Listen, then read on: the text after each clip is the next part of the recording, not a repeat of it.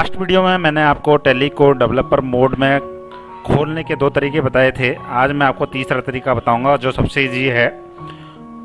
तो developer mode में खोलने का फ़ायदा भी मैंने आपको लास्ट वीडियो में बताया था कि इससे आप कस्टमाइजेशन कर सकते हैं टेली के अंदर।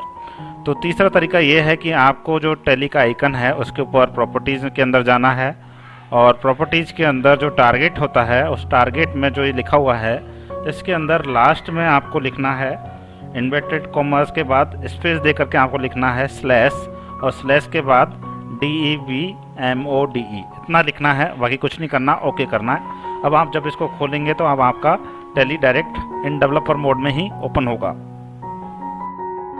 तो लास्ट वीडियो में हमने डिस्कस कर लिया था कि डेवलपर मोड में हम फील्ड्स के नाम चेक कर सकते हैं, देख सकते हैं और उसमें कस्टमाइज कर सकते हैं। लेकिन मैंने कस्टमाइज करना आपको नहीं सिखाया था, जो आज मैं इस वीडियो में सिखाने वाला हूँ।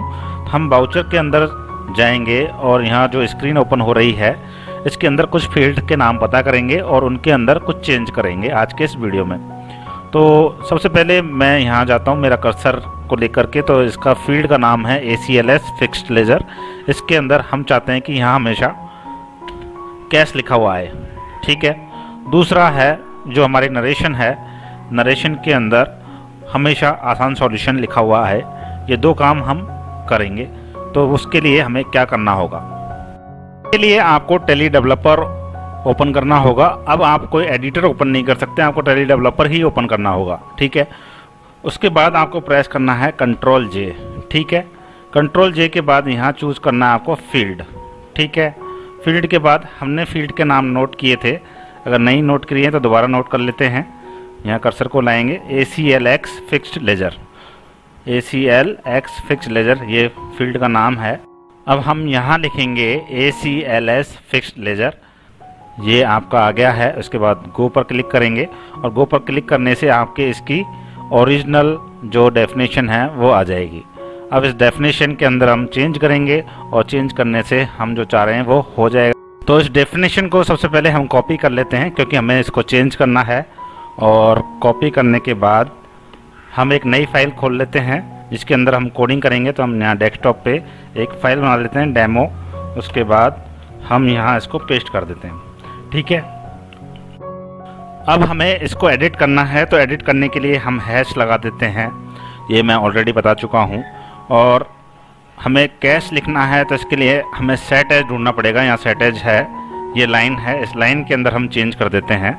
बाकी लाइन की हमें ज़रूरत नहीं है तो बाकी को हम डिलीट कर देते हैं। अगर आप रखते भी हैं तो कोई फ़र्क नहीं पड़ता है। तो मैं तो डिलीट कर रहा हूँ, जिससे कोई कन्फ्यूज़न पैदा ना हो।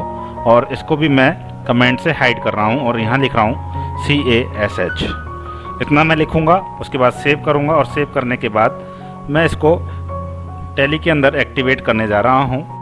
डेली में एक्टिवेट करने के बाद अब मैं बाउचर पर जैसे क्लिक करूँगा, यहाँ मैं पेमेंट वाला बाउचर ओपन करता हूँ तो आप देख सकते हैं यहाँ बाई डिफ़ॉल्ट कैश लिखा हुआ आ रहा है रिसीट वाला बाउचर ओपन करता हूँ तो भी कैश लिखा हुआ आ रहा है। तो जो ये फ़ील्ड है, इसमें मैंने कैश सेट कर दिया है, इसलिए यहाँ कैश लिखा हुआ आ रहा है। अब दूसरी फ़ील्ड हमारी है वी सी एच नरेशन इसके अंदर हमको लिखना है आसान सॉल्यूशन तो हम आएँगे टेली डेवलपर के अंदर वापस और सर्च करेंगे। कंट्रोल जे प्रेस करेंगे और यहाँ लिखेंगे वी सी एच नरेशन इसको हम ओपन कर लेंगे और ज़्यादा हमें ज़रूरत नहीं है, इसको हम यहाँ कॉपी कर लेते हैं सबसे पहले और कॉपी करने के बाद यहाँ पेस्ट कर देते हैं, इसको एडिट के लिए हैश लगा देते हैं और हैश के बाद हम लिखते हैं सेट एज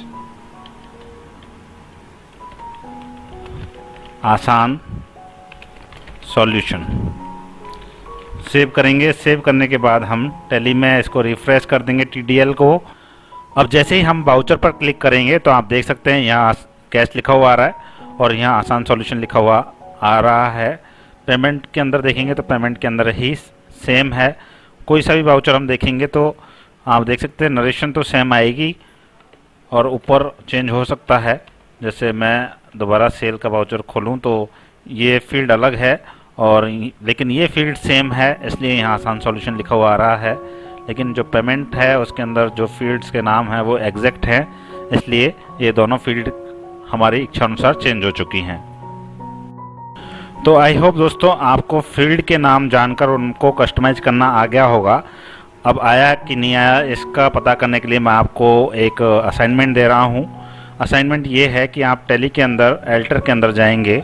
यहाँ बाउचर टाइप्स दिया हुआ होता है और यहाँ सेल्स की मैंने बाउचर एंट्री कर रखी हैं और उसके अंदर ये सेटिंग कर रखी है ऑलरेडी अब प्रॉब्लम ये है कि मैं यहाँ जैसे ही एंटर प्रेस करूँगा तो ये थर्ड वाली लाइन में जंप होता है सेकंड वाली लाइन में जंप नहीं होता है। तो आपको करना क्या है सेकंड वाली लाइन में जंप करवाना है ताकि मैं इसके अंदर चेंजेस कर सकूँ। तो ये आज का असाइनमेंट है आपके लिए। thank you for watching this video.